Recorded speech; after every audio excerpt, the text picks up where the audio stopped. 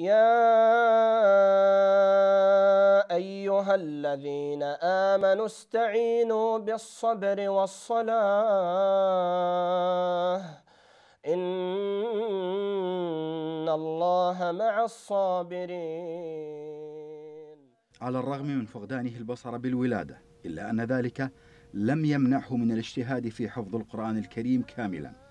ضاري عامر واظب على حضور دروس القرآن والتلاوة في مسجد المصطفى ومركز تعليم أصول القرآن الملحق به في منطقة العامرية في بغداد.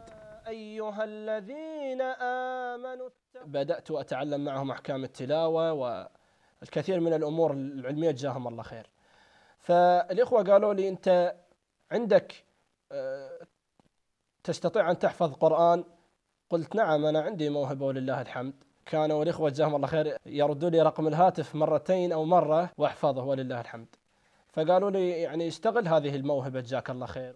ضاري أكد أن رواد مسجد المصطفى قدموا له يد العون في حفظ القرآن الكريم وتعلم تلاوته وفق أصولها. الإخوة جزاهم الله خير أعطوني هذا القرآن الناطق يسمونه المصحف القارئ اللي بيه مثل القلم. بديت أحفظ ولله الحمد. حفظت جزء عامة وحفظت الخمس الأجزاء الأخيرة. وبدأت أحفظ آيات متنوعة من كتاب الله. وبدأت أسمعها عند الشيخ أبو محمد. جزاه الله خير أخونا نحبه في الله. بدأت أحفظ وهو يسمع لي ويعلمني. وها منذ خمس سنوات إلى الآن هو كان معي.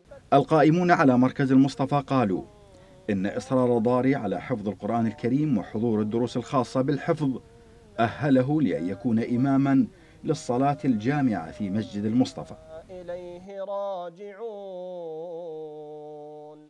كانت لديه همة عالية ويعني ما شاء الله من يعني أشطر الطلاب وأحسن الطلاب التزاما رغم أنه ضرير وما عنده أحد يقوده لكن أينما يجد أحد يقوده يجي للمسجد ويجي للمركز القرائي. في بعض الأحيان اللي ما يقدر يجي للمركز القرائي يتصل بي على الواتساب وياخذ درس ويلتزم بحصته يعني التزام كامل الحمد لله.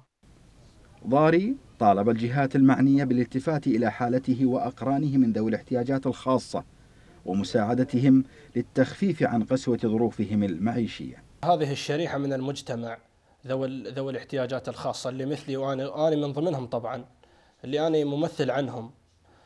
آه يعني الناس يعني وضعيته تعبانة الآن. هذه الشريحة من المجتمع الكثير من الناس وضعيتهم تعبانة جدا. واللي أنا من ضمنهم.